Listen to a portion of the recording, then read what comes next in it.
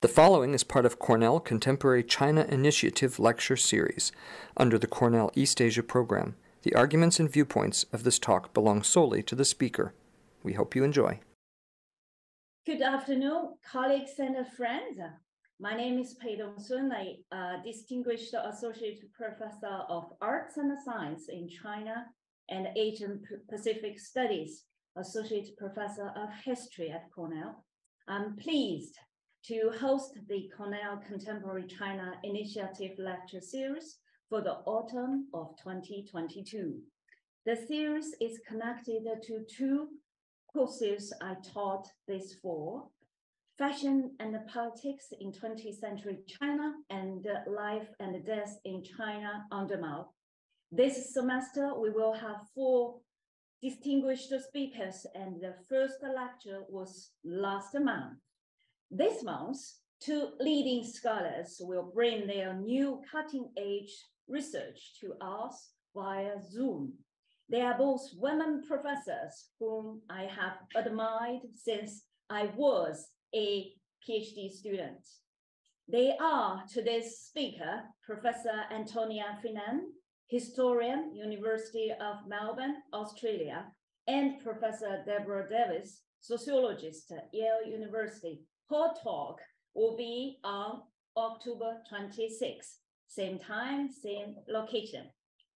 We thank all our core sponsors for helping to make this series possible. With their generous support, we are able to bring the last guest speaker of the series to our Ithaca campus on November the 9th. Professor Simona Segre Reinach is an anthropologist at the University of Bologna, Italy. Now it's my great honor and a privilege to introduce today's speaker, Professor Antonia Finnane. Professor Finnane is a historian of China and an honorary professional fellow in the School of Historical and philosophical studies at the University of Melbourne.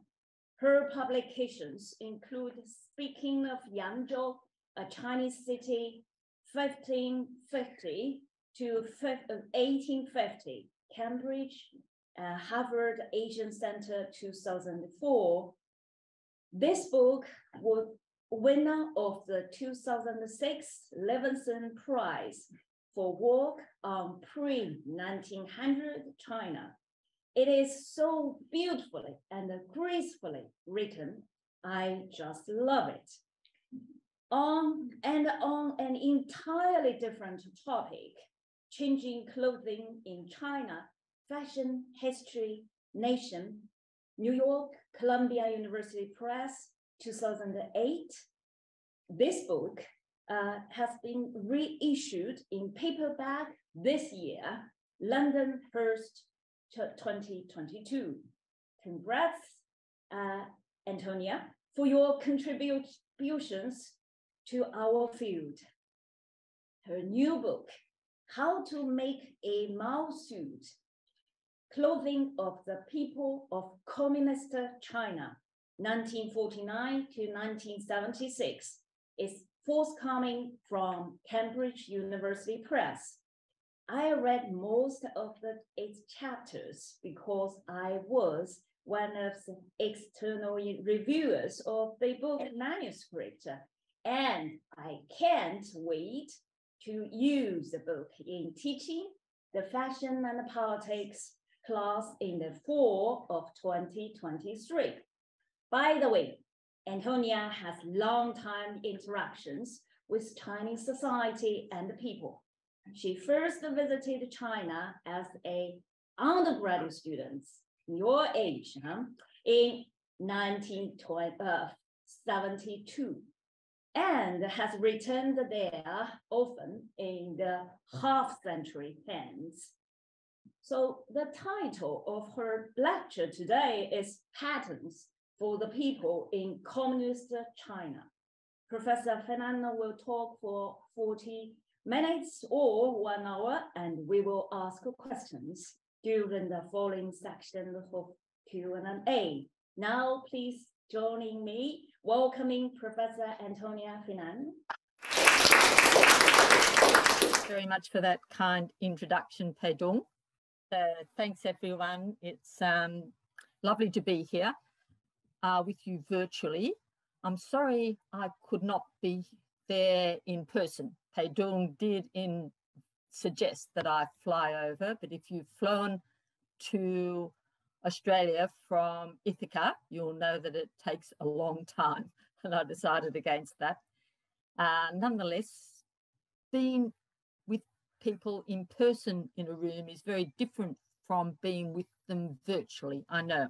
And one of the things that I would have done if I were with you virtually is to uh, show you images of some of the materials I have been looking at and allow you to browse through them uh, because these quite unusual research uh, materials uh, have proved, to me anyway, full of insights and interest in the uh, time, place, and issues that I've been studying. So there's nothing quite like putting your hands on the uh, materials, looking through them, getting a sense of their age, uh, reading what people at that time were writing and imagining what it was like to read those materials.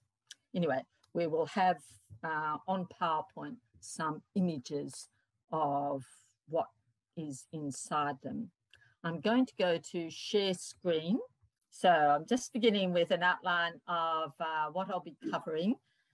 So, you know, I'm talking to you from right across the Pacific, but China, like Australia, lies on this side of the Pacific, although in the Northern Hemisphere, of course.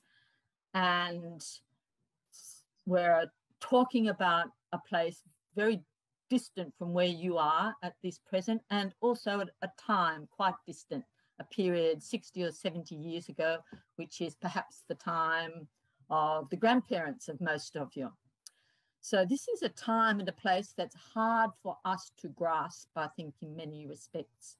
The whole country, China, early 50s, was traumatized by the violence of war and revolution, which had been ongoing for many years beforehand. I would say people felt at the mercy of forces beyond the control of any one of them. They were like people caught in a hurricane, uh, a, a metaphor that was often used of China at that time. And compared to something like war or a big thing like revolution, I think fashion or what people wore might seem a matter of small importance, hardly a matter of life or death. And I think we need to begin by taking it uh, seriously. And we have recently been reminded of just how serious what people wear, and especially what women wear, can be when protests in Iran and worldwide erupted following the death of a young woman in Iran just, well, uh, exactly a month ago on 16th of September. Uh, Mahsa Amini, a woman who was arrested for failing to cover her hair and died as a result of beating. The coroner's verdict we've recently heard was death due to long-standing illness. In China, during the Cultural Revolution, there were deaths of this nature. The importance of what people wear can't always be illustrated as dramatically as this. But because it was a young woman and not a young man who was beaten to death on account of what she wore, we can also see that fashion, or at the very least clothing, is an aspect of culture more closely associated in the popular imagination with women than with men. And this is also one of the reasons that historically fashion has been treated lightly as a subject of study. I think the word trivial is often used. It's only really since the turn of the century, uh, this century, that the balance has been changing in approaches to it, in, in the weight of the study, in the uh, field of history more broadly, and in the range of participants. Now, I think contributors from across the gender spectrum write on fashion practices across the gender spectrum.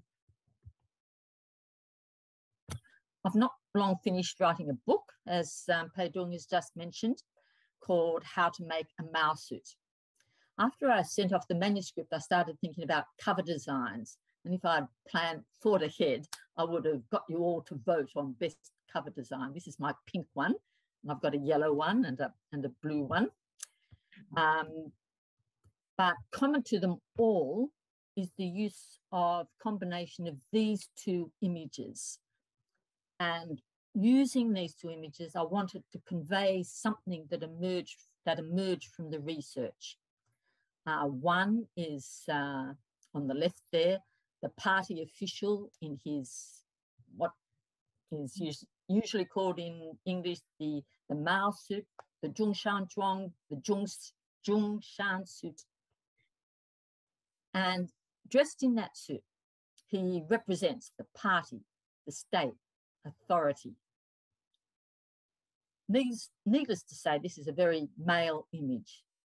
On the right, there is a housewife at her sewing machine making a child's dress. And that's from the front cover of a, a 1950s uh, sewing textbook. So in this lecture, I want to demonstrate that pattern book publishing became a big item in Mao's China. It served to disseminate knowledge about how to make new style clothes, particularly with a sewing machine. And I want to show that it was tied to and influenced by the clothing export industry, which was still in its infant stages. So 1980s, 1990s, in the post-Mao era, China suddenly became very big on the world stage uh, for its textile and clothing exports. Uh, but we can certainly see the origins of this back in the 1950s and 60s. At the same time, pattern books, because they were picture books, made available idealized views of men and women in the new China. They revealed, and we could even say that they produced the marginalized position of women in Chinese society, who, after all, were not primarily thought of as people wearing these, these Mao suits, these Zhongshan suits. In, as we'll um, see, instructions on how to measure up a client for the fitted garments worn during these period, uh, during this uh, period show a general caution or chariness about how to deal with female bodies. During the Cultural Revolution in particular, drawing a female figure became more and more challenging to the point where sometimes women are not visible at all in pattern books of that period. So looking through pattern books from the 1950s through to the 1970s, I became uh, sharply aware of the problem of the female body in uh, Maoist society. The altered appearance of the crowd on the Chinese street is a very familiar aspect of Mao's China, that is the years 1949 to 1976.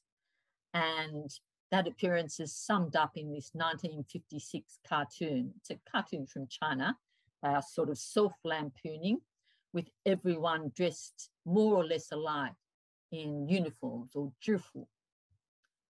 And the question I began with, uh, in, uh, well, I do begin with in my book, uh, is, you know, who makes, who made all these millions of uh, clothes, of, of uniforms, of zhifu. What was needed in material terms, like in terms of the fabric to make them, the thread, you know, all those buttons, look at all those buttons, not only on, not only used to fasten the coats, but also buttons as uh, ornaments on uh, sleeves or on pockets. Um, where did all those things come from? And remember, you know, this is an enormous society. There, there are um, hundreds of millions of people, not all of whom got dressed in these uh, clothes, but nonetheless, enough of them in the towns and cities of China uh, to account for very, very large uh, market for these new clothes. How was knowledge of designs, cutting and assembling developed and disseminated? Who did wear these clothes and who didn't? And the answers, I think, reveal an industry that inherited much from the preceding period, the Republic of China, 1912 to 1949. And the, the legacy uh, we can describe in terms of new technologies, uh, new tools, new materials, while inheriting much from the Republic, the People's Republic, China in the People's Republic also broke with that, that legacy in many respects.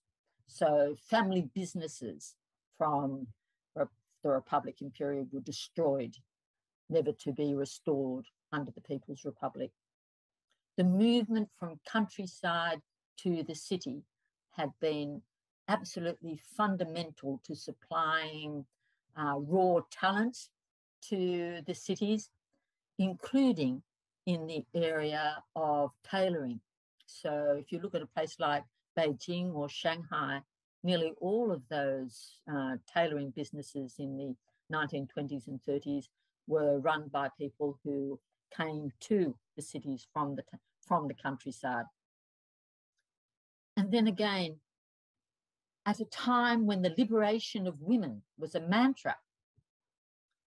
Uh, the supply of clothing in China came to be the job of the mother in the home. You know, wasn't she wasn't a factory worker out there, well, she might have been working in a factory as well, uh, but she was, wasn't in her role as a factory worker that she was producing all these clothes that were worn. It was at home, at night, by the candlelight, by the lamplight in the middle of the night while the rest of the family was asleep um, that she was making these clothes. So the question of how to make a Mao suit actually became a problem for millions of women during this period. Just want to have a brief look at what people have been writing about this period to provide some sort of historiographical um, context. Uh, the one of the statements that is uh, made is commonly made is that in the Mao years, everyone in China dressed much the same as each other. And there have been a lot of arguments about this, which I won't go into closely now, uh, but much of the conversation about clothing culture in this period does circulate around that problem. That there was no official clothing code, that there were no laws about what people had to wear, um, is a point that is made. Uh, Li, China's Soviet dream is one of many sources for such a statement. I have made such a statement myself. One of the uh, early points and reiterated points about clothing in China in this period is that despite the fact that, you know, people from outside thought that everyone in China looked the same and there was no difference between men and women, and women weren't allowed to be women, uh, researchers have done much to document the fact that women did in even if in small and marginal ways assert their femininity in their choices around clothing. At the same time, it is quite clear that a feminist sense of self was being encouraged, particularly in you know that generation that came into being in uh, 1949. You know, Mao's children, the blank sheet of paper on which he sought to write this new, you know, revolutionary and for women, you know, feminist ideology. Um, and Pei Dong's wonderful work has shown how from poverty, um, people's sort of inventiveness as well as their pushing back against uh, the, the sort of conformist, uh, standardized um, modes of dressing, how that produced its own fashions. And I've given you, I guess you've um, probably had access to her article on the collar revolution already. Nearly all of these writers deal at some stage or other with the term Mao suit, a reasonably controversial term, but we could say that it refers not only to a garment shown here on the Communist Party leaders on the 1st of October 1949 at the time of the establishment of the People's Republic of China. It also refers to a clothing regime, that is, to a standard form of dress in a society, which is, in a sense, you know, a, a hegemonic uh, form, a controlling form. And it refers us to a period of history, the Mao years, from 1949, when the People's Republic of China was established, to 1976, when Mao died, and things began to change, if ever so slowly. History students will be familiar with periodization as a major way of conceptualizing the past. So a period is often defined politically, for example, the Kennedy years. Sometimes it's defined economically, like the Great Depression. Sometimes it's defined by major events, like a war, sometimes by culture, like the Dark Ages, the Renaissance, the Enlightenment, Mapping out how people think is a major method of periodization. But there's also strong visual imagery associated with it. So in historical costume dramas um, or in picture books, periods are often encapsulated by what people wear.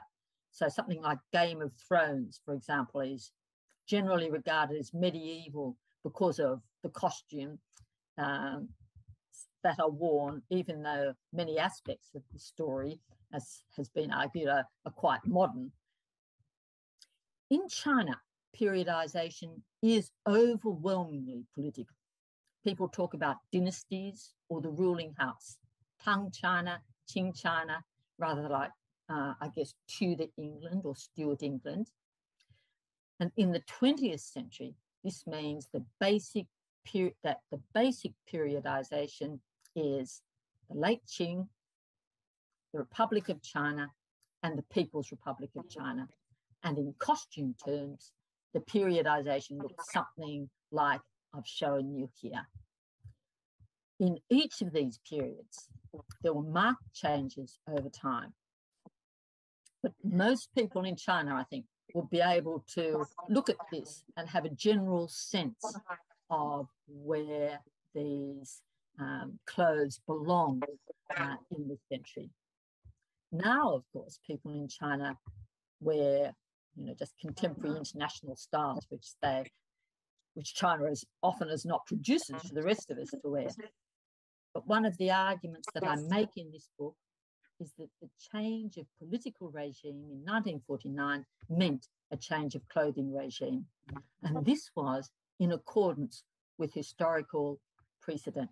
So although uh, to talk about new China was a standard way of talking about revolutionary China in the 1950s, there was uh, there were many respects in which it was working to a cultural pattern. So there was a saying in old China, when the dynasty changes, the clothing is altered. in 1950s China, there were no laws that everyone in the country should dress in a particular way.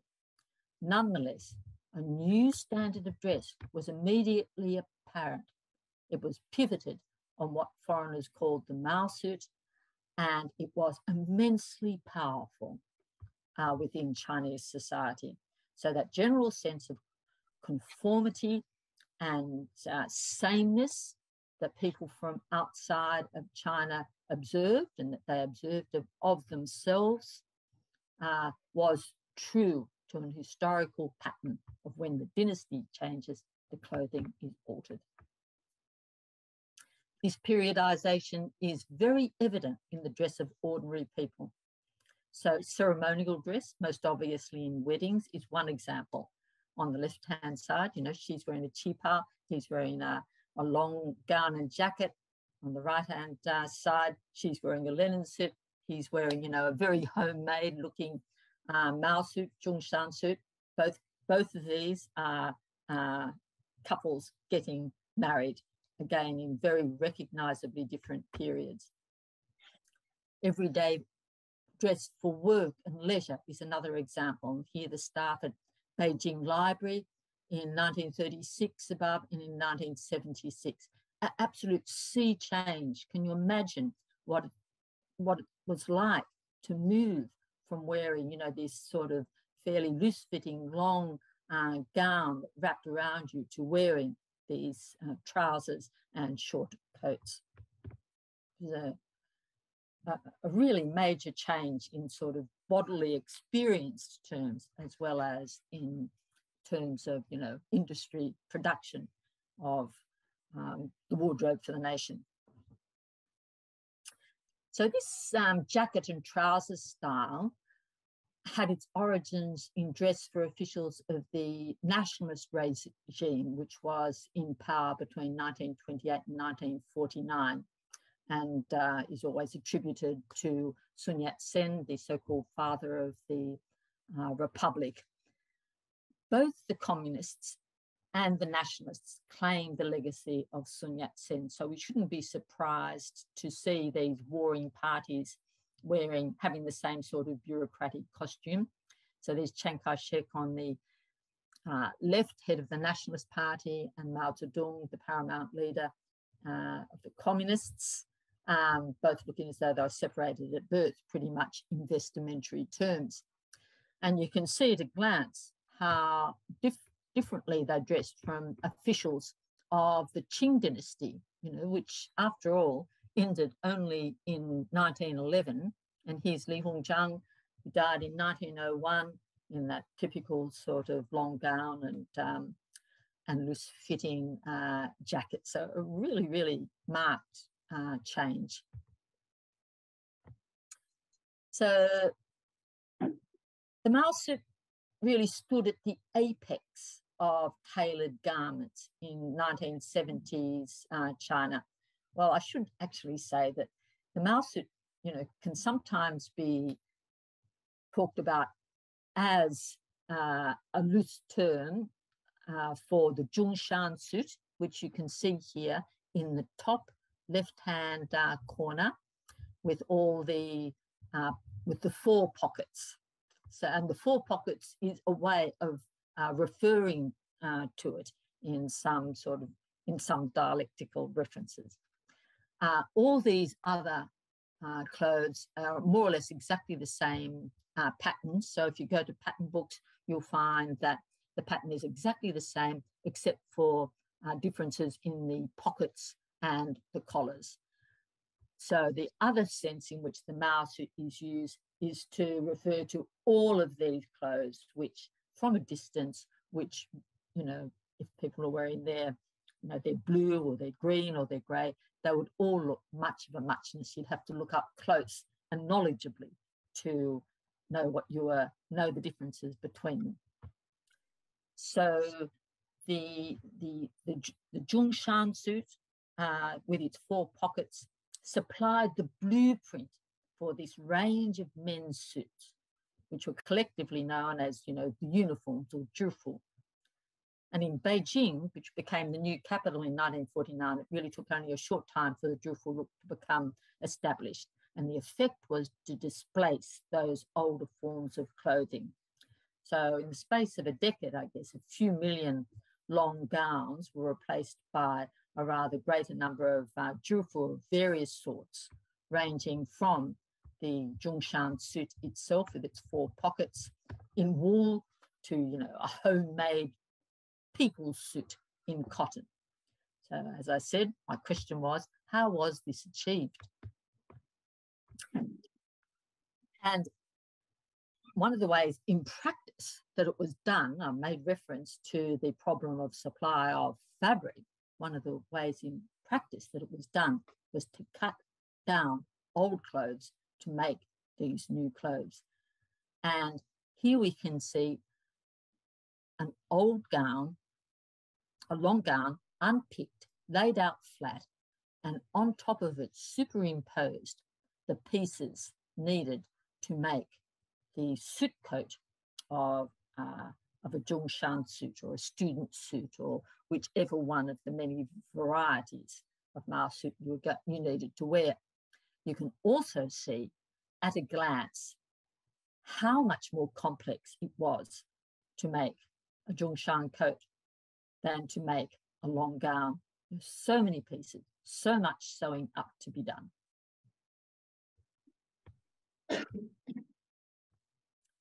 In looking at how uh, this transformation was achieved, we need to begin with the tailors, in particular with the red group tailors, the Hongbang. Immigrants from Ningbo, got a little map here showing Ningbo just below Shanghai, uh, which was it, Ningbo was itself uh, an important port uh, in the past, but these uh, tailors, as uh, more or less uh, suggested earlier, came from the countryside, not from the city itself. They were immigrants to Shanghai, and in Shanghai in the later 19th century, they became the major suppliers of clothing in the first instance to foreigners in Shanghai.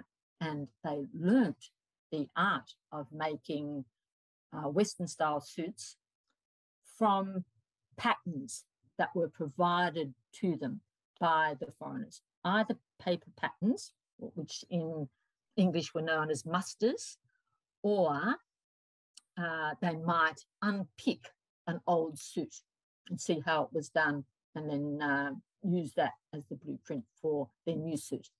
So this red group, the red group dominated Western tailor, Western tailoring in China for at least a century, from the middle of the 19th century to the middle of the 20th.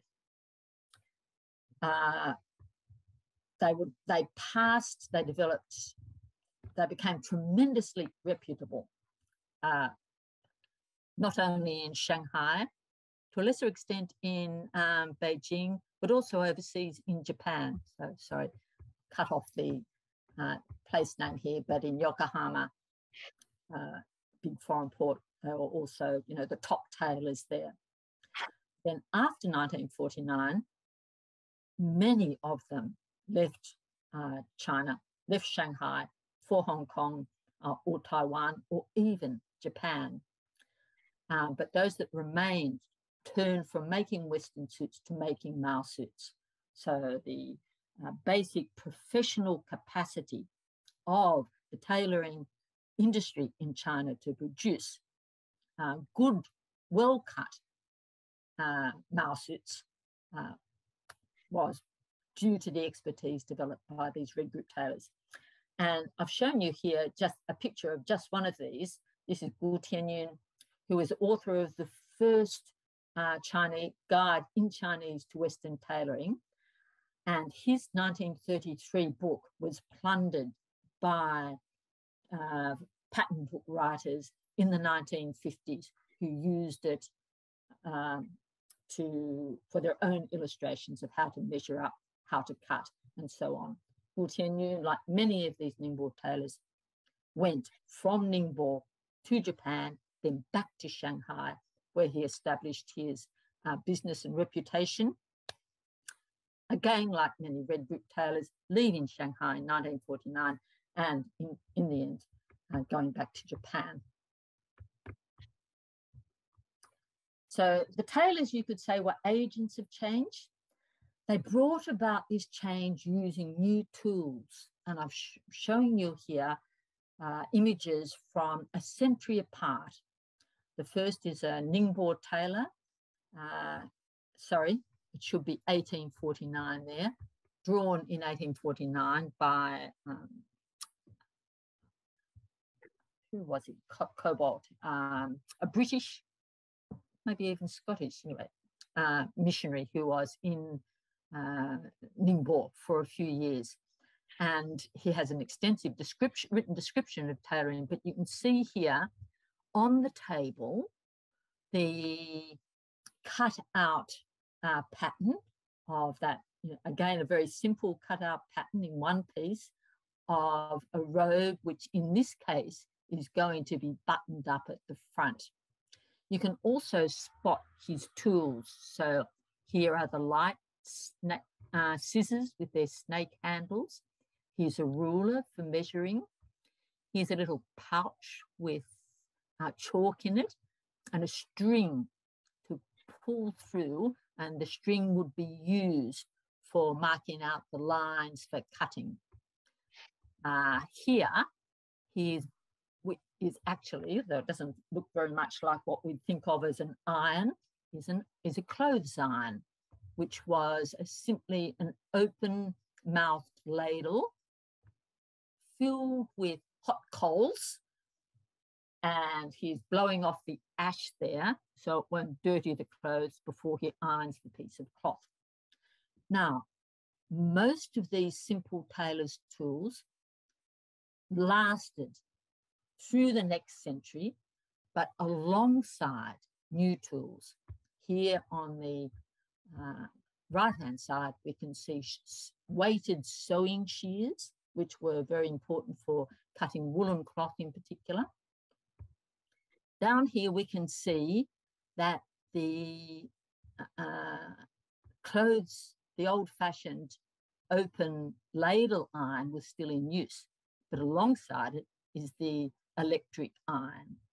Curling around here, we can see the soft tape measure, which was introduced in the early uh, 20th century and which was absolutely necessary to the task of measuring up people to make the clothes. And in addition to tools, there's something that we call notions, all the bits and pieces that go to either making the garment beautiful or to making it functional. And one of the big things that was introduced to China in the late 19th and early 20th century are these hard buttons. They were made of, um, might be made of shell, of glass, of metal, but in, in any event, they replaced the old uh, cloth uh, button. So most of you are probably familiar with the standard uh, Chinese style button, which in English is often called frog fastening, made with a strip of uh, cloth that is turned into a knot and then put, put through a loop.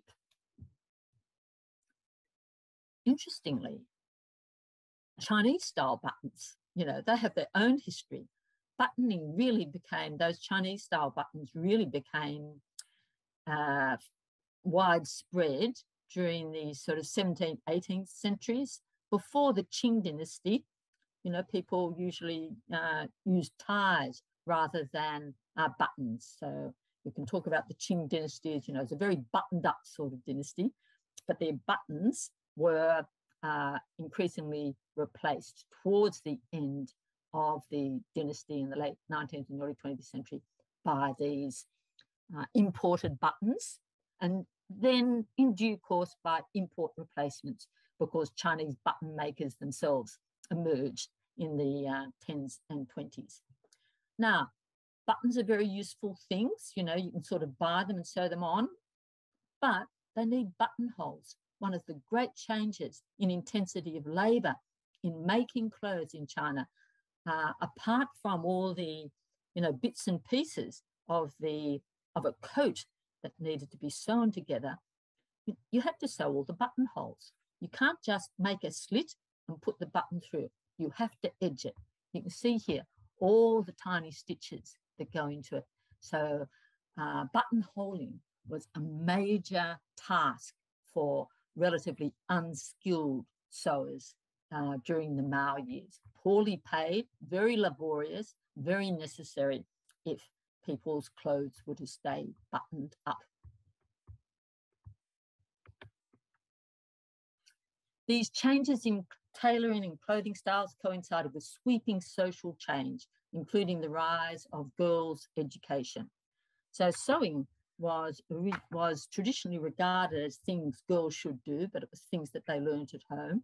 When girls' schools were established, sewing lessons came along with them. Interestingly, sewing in, uh, well, in well-to-do households anyway, had always meant embroidery rather than making clothes. Making clothes was something that the humble tailor did, not that well-to-do, well-born young ladies did. In the uh, 19 teens, 20s, uh, this making of clothes uh, was gradually taken on by uh, young women, usually for domestic purposes, occasionally for commercial purposes. Uh, but bear in mind that tailoring was almost uniquely a male profession uh, through to the 1950s. Sewing uh, machines uh, introduced, I guess, Singer, the Singer sewing machine was the, uh, the big brand in China, uh, imported from the factory in Glasgow. and itself in due course facing competition from import replacement as Chinese started making their own sewing machines. So in the first half of the 20th century, we can see this, uh, this is a school in 1919 equipped with sewing machines. We can see this sort of ground being laid for a phenomenon that would become very obvious during the Mao years there was not a smooth transition from the Republic to the People's Republic. Whatever we can say about the legacy and the roots, there were dramatic changes in scale. So this goes for the sewing machine industry, which was just, you know, minuscule. Uh, the, the, the local sewing machine industry, minuscule in the 1940s. In the 1950s, expanded dramatically as China shut its borders to imports particularly to American imports. Japanese imports, interestingly, uh, fared a little bit better. But the Chinese sewing machine industry really took off in the 1950s, expanding in the 1960s till there was a sewing machine factory in practically every city of any importance.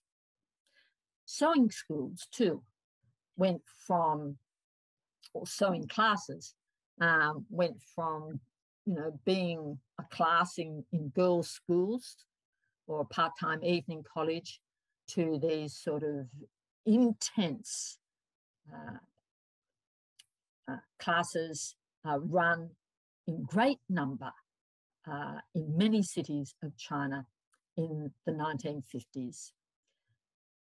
This proliferation of sewing schools was in part what they usually describe as, as responding to the government's call. Responding to the government's call, someone will set up a sewing machine, a, sewing school, and invite uh, students to apply, invite women to apply. Women did apply, and they applied for a number of reasons. First, they needed skills themselves. A lot of occupations uh, a lot of things that people did before 1949 could not possibly be done after 1949 for all sorts of economic, organizational, and ideological reasons.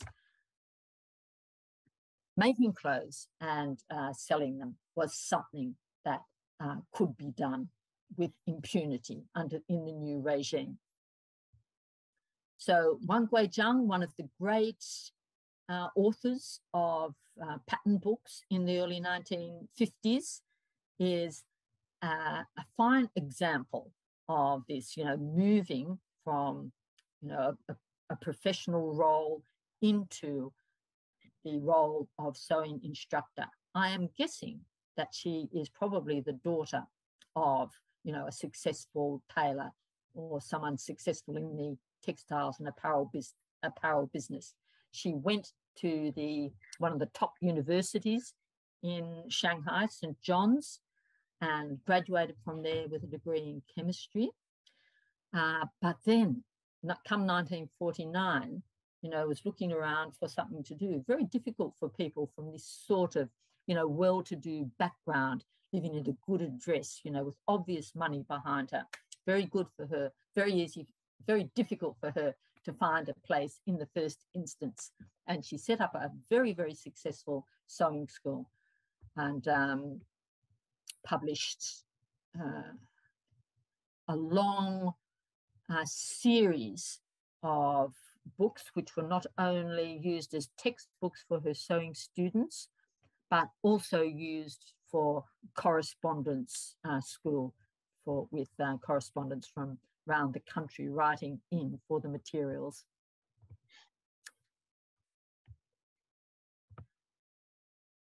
Even tailors might turn to teaching instead of tailoring. And in this graduation photo, we can see all the teachers in the front row.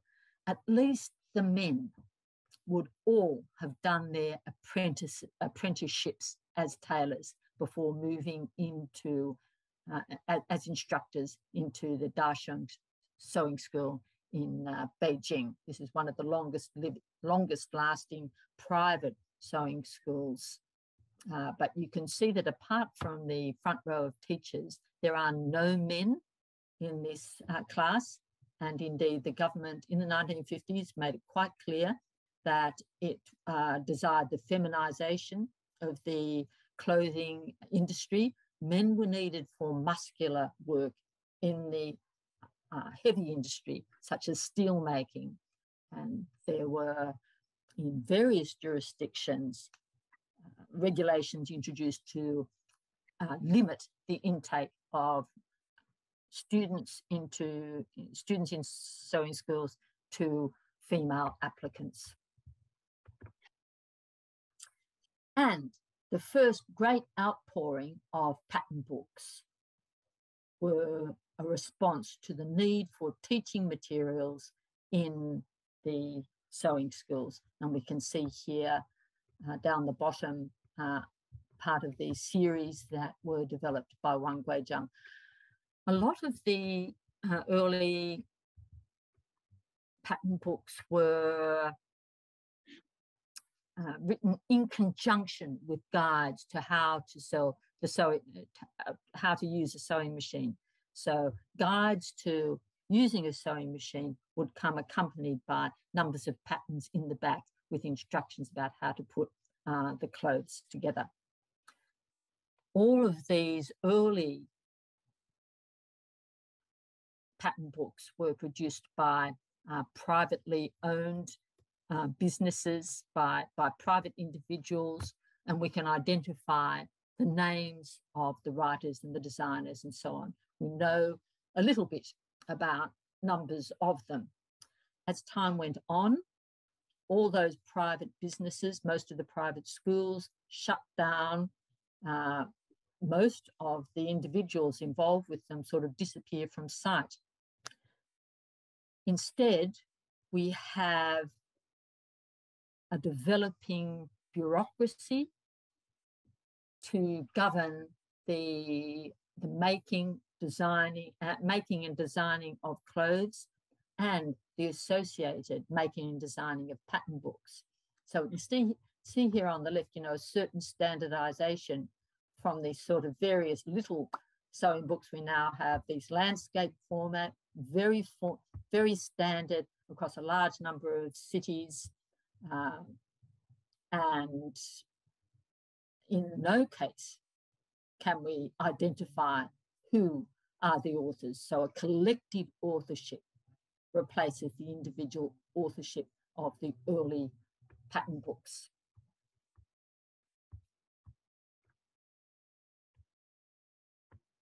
So I just want to make these notes about the pattern books. First of all, they're a characteristic publication of the Mao years. There were some pattern books before 1949. Embroidery pattern books have a long history in China. Clo how to make clothing, you know, this is a little bit rare. Uh, you'll find some school textbooks uh, produced for this end. Then in the early 1950s, they were produced as teaching materials by sewing schools. Then from the late 50s through to the 80s, produced uh, for sewing co-ops. The sewing co-ops are mostly staffed by graduates of the sewing schools. And they're also used by home dressers, uh, by home dressmakers. They're used in addition by the clothing, shoe, and hat companies, which are the which are the um, sort of core to the bureaucratic organisation of the apparel industry, and they're used in clothing factories. Clothing factories might be extremely small scale, and in those, you know, you often have uh, a process of sort of people learning on the job. So the very early pattern books do show a confusion of modernities. You know, these people are moving into conscious, they're all conscious of becoming citizens of a new China. They're all conscious of a revolutionary change. The prefaces to the early pattern books show a forward engagement with the new politics. What they, what they actually drew and designed and presented to their readers or to their students was, however, a real mix of things. Very obviously, you know, we have here with her bobbed um, cut, the, the fashion that's from the communist fashion from Yan'an, uh, looking uh, very, you know, a la mode. Uh, but in the, in the very same book, you know, you would have something like culottes or even a two-piece two-piece bathing costume, which would not usually be imagined as something that you would find in Mao's China. These sort of clothes disappear very um, quickly and are only evident in the, the, the most expansive of the early uh, school uh, directed pattern books.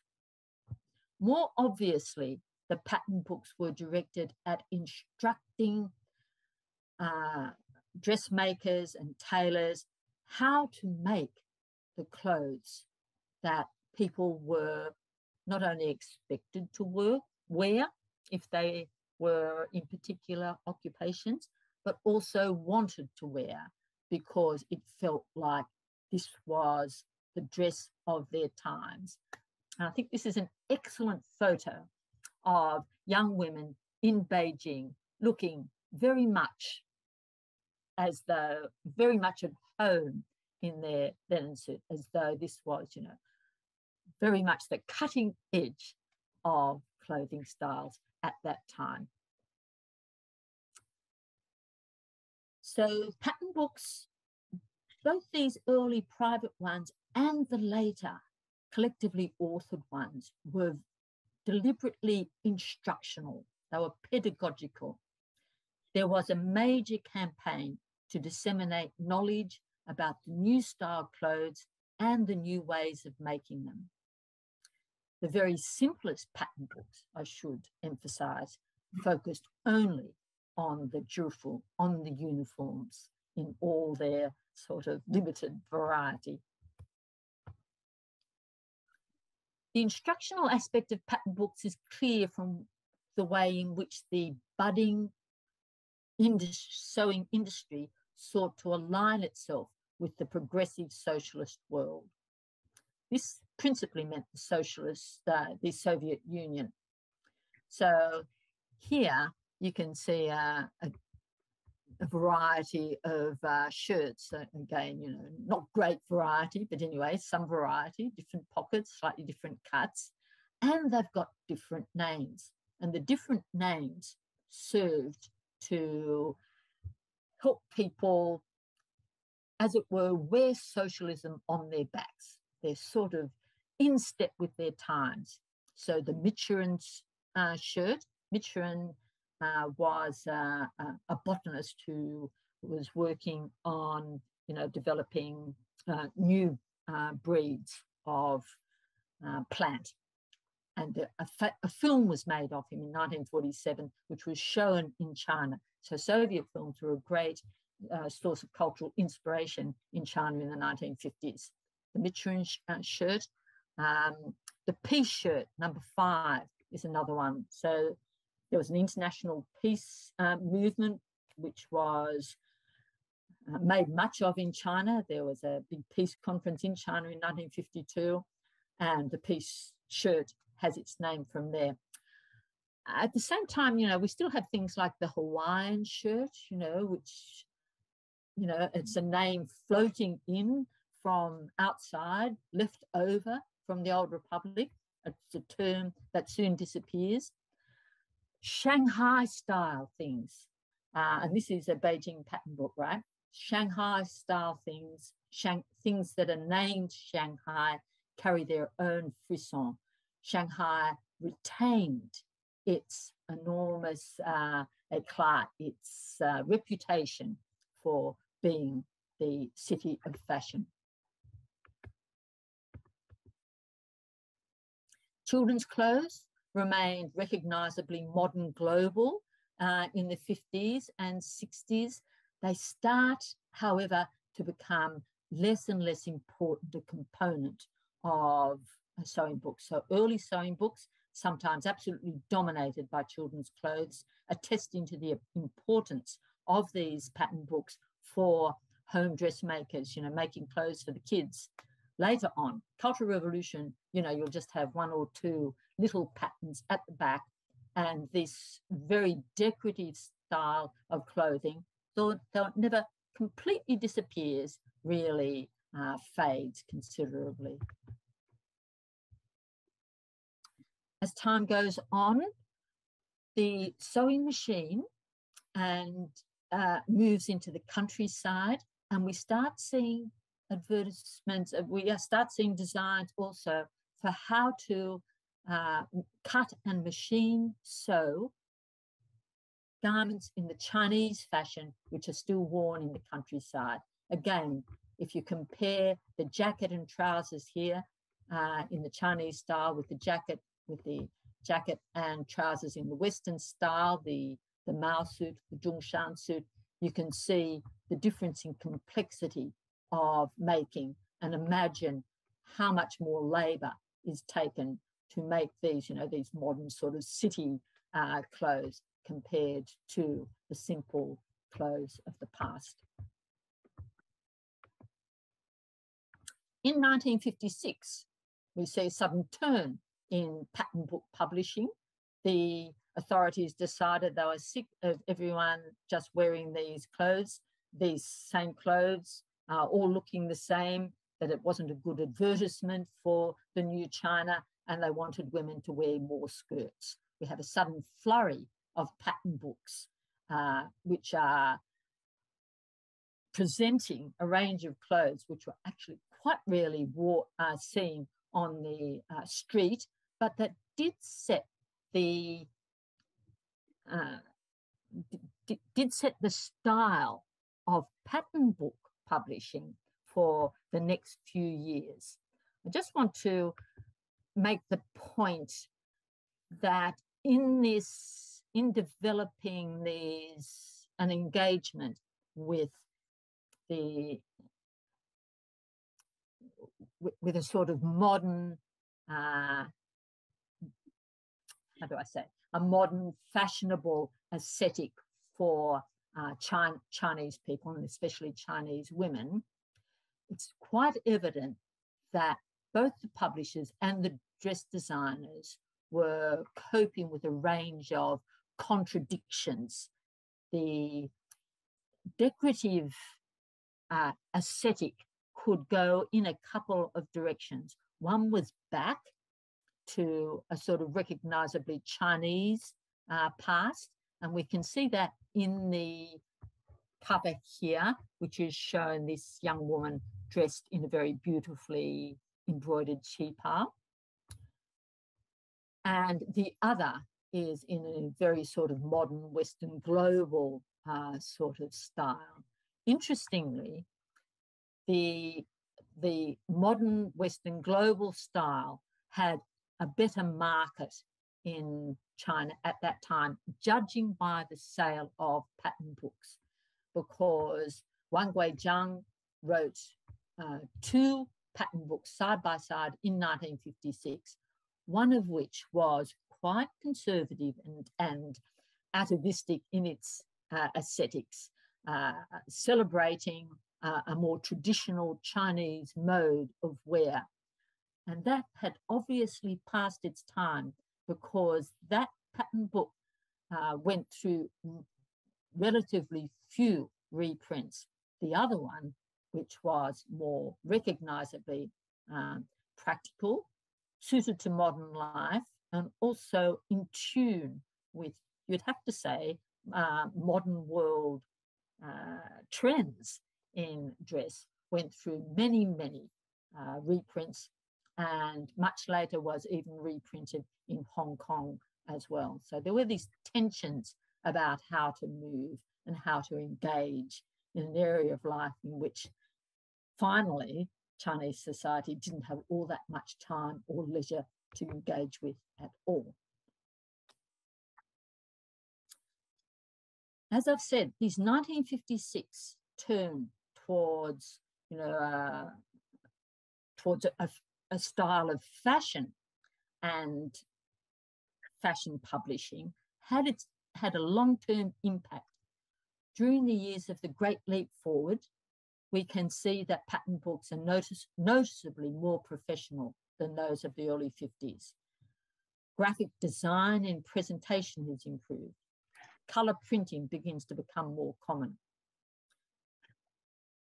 The Great Leap Forward is otherwise known as a time of scarcity leading up to famine. So 1958-62 is one of the terrible periods of uh, Chinese history. Even in big cities, severe rationing was enforced. So it's quite bizarre looking through the pattern books published in this period to find such, you know, modish uh, designs being uh, presented for as if they were clothing that could be uh, bought or could be made and worn by peasantry at the time. The amount of cloth that people were able to had at their disposal at this time was very small indeed. And while peasants could, could weave their own cloth, their shortage of food was such that they, cloth, they disposed of their cloth where they could on the black market in the towns. From the misfit from what people were making and wearing and, and what they were wearing and what the pattern books say, we can conclude two things, I guess, about this period.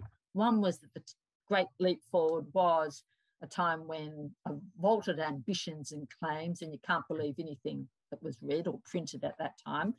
Uh, uh, the other is that the clothing industry was beginning to have an export arm, which is obvious even in these very hard years, or perhaps particularly in these hard years when the Chinese government is trying to get foreign currency to pay for imports, among other things, of wheat. One of the problems in the clothing industry uh, as this ex export industry expanded was to prevent things destined for overseas, including ideas, from circulating internally. During the Cultural Revolution, those slightly adventurous styles evident in the um, Great Leap Forward publications, and we can see example here, this is the front cover of a 1960s Shanghai magazine. These fade from view and we get these sort of more shapeless uh, shirts and trousers being produced in 19 in the early 1970s, but still for export. So uh, the uh, lower end market in Hong Kong and Southeast Asia is buying up these clothes that are being exported uh, from China. So bear in mind, I've shown you quite quite a few color pictures here, which are pretty, but bear in mind that color printing was by no means standard. Overwhelmingly, publications were black and white with simple line drawings. And overwhelmingly, um, the zhifu, the male suit, the student suit, the youth uh, suit are the common feature, and they're uh, it's often sort of very upfront. Sorry, I'm running um, over time here. I'll just quickly refer now to the fact that much as the clothing uh, materials were, much as these design books, these pattern books were instructional in terms of what people uh, could or should or might wear, so too they are instructional in terms of how the body uh, should or could be treated.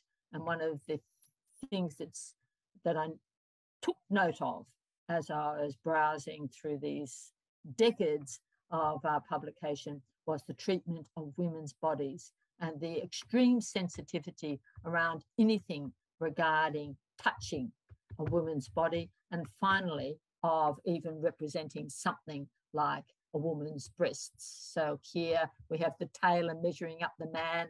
We only have hands measuring up the woman. Here we have the varieties of body uh, that tailors should design for. Um, you know, you, I just ask you to spot the woman or spot the women. And of course, it's only one of those standardized shapes. Men have many standardized shapes. There are many designs for uh, the male suit for many sorts of men. There are hardly any, there's hardly any, ever any variety for women.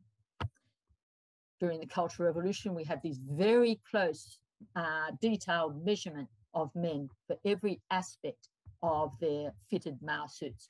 For women, extremely simple, uh, minimalist types of measurement. In the Cultural Revolution, the measurements, the, the women and the men almost look the same.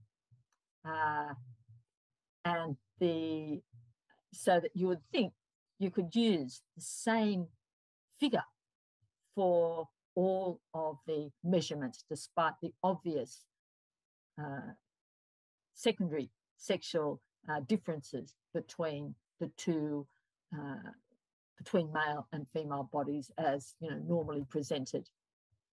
One of the consequences of this avoidance of having to deal with women's measurements and bodies is that women become less and less visible in pattern books of this um, period. So in this particular pattern book, you know, there was just one, I show you there, the one woman in all the many uh, figure drawings of either measuring or of clothes in the entire book.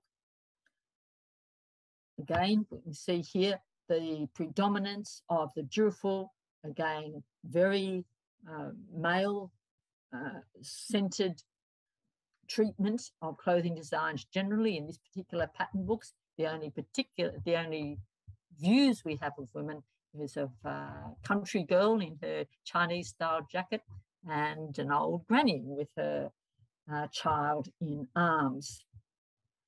And this imbalance of men's and women's designs uh, lasted through to the uh, post-Mao period. So here is quite a, in this 1977-78 publication, we see a, a clear shift in style of publishing. You know, the girl has permed hair.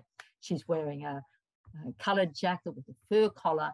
But when we look inside, we find, you know, a total of something like, you know, nine to whatever it is, you know, many men's uh, clothing designs and just four for women, of which one is the artificial collar, of which Sun Peidong has written. So the whole of this uh, enormous publishing industry, uh, as it sort of grew exponentially through the Cultural Revolution, uh, so that you know, what started off as tens or hundreds of thousands of copies became millions upon millions. The proportion of uh, women depicted or the, the proportion of women's clothes uh, presented uh, in them become fewer and fewer. So I'm going to just leave you with this uh, final slide, which was among the thoughts I had about ways of thinking about what I had been writing. Mary Beaudry's wonderful uh, book Findings, The Material Culture of Needlework and Sewing, done by an archaeologist, uses this term small finds, big histories, which I think encapsulates the significance of some of these research materials. I agree with Tina Mai Chen, clothing was a critical component in producing the subject of the new regime. I find uh, Brighenti's observation about visibility, all kinds are useful, all kinds of minorities and exploited classes, and I mean here women, experience the effects of invisibility as lack of recognition. Women looking through those design books and finding no pictures of women would feel the lack of recognition. And finally, we can see in uh, Michel Foucault's history of sexuality, numerous and diverse techniques for achieving the subjugations of bodies and the control of populations do exist. And I think that pattern books were one of the ways in which the subjugation was affected. Okay, thank you very much. Sorry for the slow start. Okay. Uh, thank you so much, Antonia, uh, for this uh, excellent talk.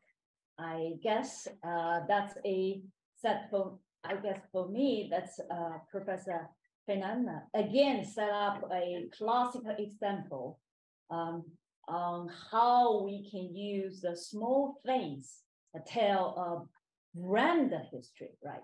And you, we we see how you know we can investigate the uh, PRC history through the lens of fashion and how the material culture can help us to better understand the uh, you know the uh, the history and also the mindset of the people who live or who have survived in the history uh, after after 1949 and also that's not only a um, clothing regime issue. It's a vestimentary order. It is a uh, social order. It is how the power or how the state uh, navigate the power through, you know, uh, accessing the influence on people's daily life. And uh, ultimately, you can see obviously that's closely related a cultural norm, a new norm in the post 1949.